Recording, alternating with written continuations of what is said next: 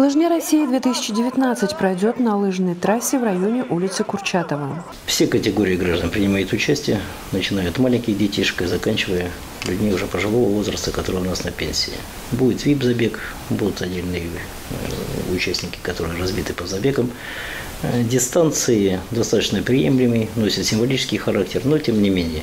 Детишки дошкольного возраста бегут у нас 200 метров круг, школьники с 1 по 4 класс 500 метров и километровая дистанция для всех остальных категорий участников. Ориентировочное количество участников от тысячи до полутора тысяч человек. В начале лыжной трассы будет проходить регистрация участников с обязательным документом о здоровье, либо необходимо подписать документ о том, что человек сам отвечает за свое здоровье.